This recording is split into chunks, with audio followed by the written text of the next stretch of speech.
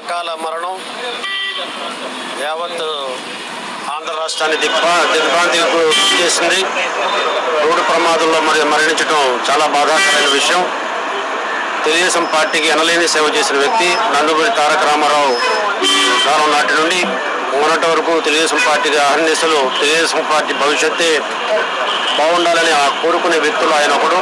మరి పాలిట్ బ్యూరో సభ్యునిగా ఉంటూ ఈనాడు అకాల మృతి మతం మా మృతి చెందిన బాలకృష్ణ గారి ఆత్మ హరికృష్ణ గారి అకాల మరణం చెందిన హరికృష్ణ గారికి మరి ఆత్మ శాంతించాలని మరి వారి కుటుంబానికి సంతాపం ప్రగాఢ సంతాపం తెలియజేస్తూ ఏదైతే నందమూరి లక్ష్మీ పార్వతి గారు ఆ రోజు రాజకీయ జోక్యంలో వ్యతిరేకించినటువంటి వ్యక్తులను చంద్రబాబు నాయుడు గారికి అండగా నిలబడినటువంటి వ్యక్తి హరికృష్ణ గారు.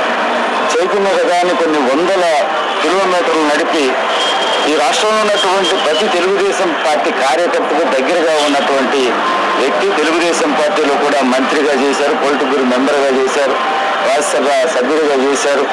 మరి అటువంటి వ్యక్తి ఈరోజు మా మధ్య లేకపోవటం అనేది చాలా బాధాకరమైనటువంటి విషయం.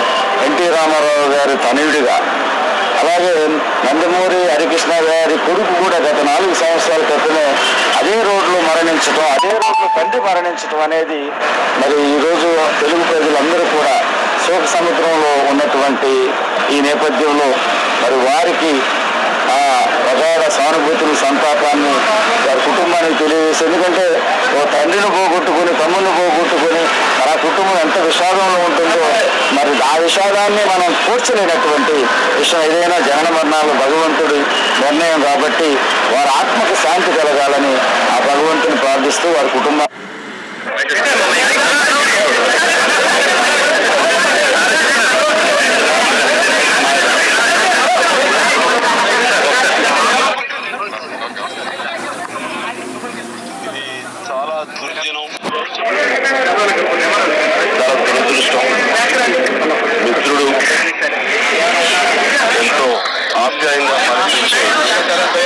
సోదర సమానుడు నందమూరి హరికృష్ణ.